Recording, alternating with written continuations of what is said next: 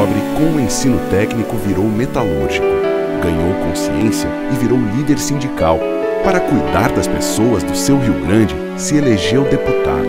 Quis mudar o Brasil e se transformou em um grande líder, o senador mais comprometido com o povo brasileiro. Você tem dois votos para senador. Um deles é para essa história continuar. Um deles é para confirmar Paulo Paim, 131.